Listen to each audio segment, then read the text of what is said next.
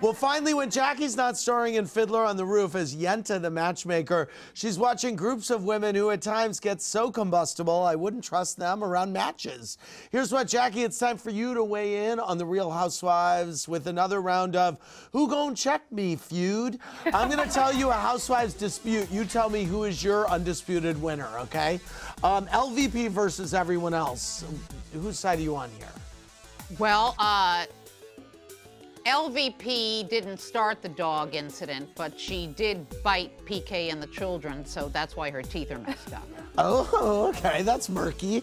Um, Rinna versus Camille uh, about uh, the whole Brett Kavanaugh issue.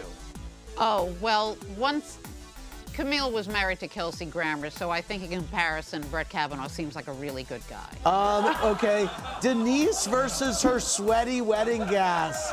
A laid-back Denise had no qualms about being a late bride, and they were all out in the heat. Yeah, well, then she can have no qualms about paying for everybody's melanoma buyout. Oh my gosh, um, Nene versus everyone else at the reunion. What was your? What oh, was your?